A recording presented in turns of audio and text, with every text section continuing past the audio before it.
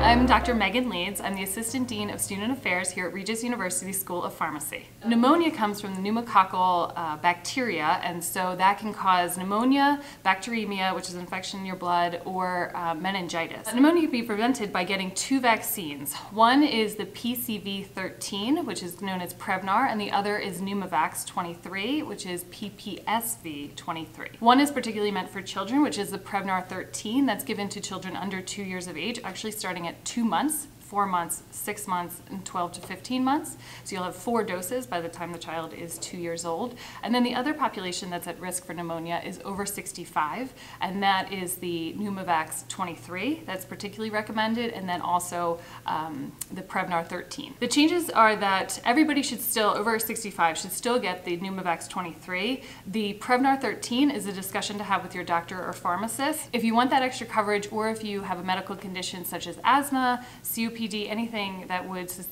be more susceptible to a lung disease, um, chronic smoking, something like that, you would definitely also want to get that Prevnar 13. They're given about a year apart and they have different coverage.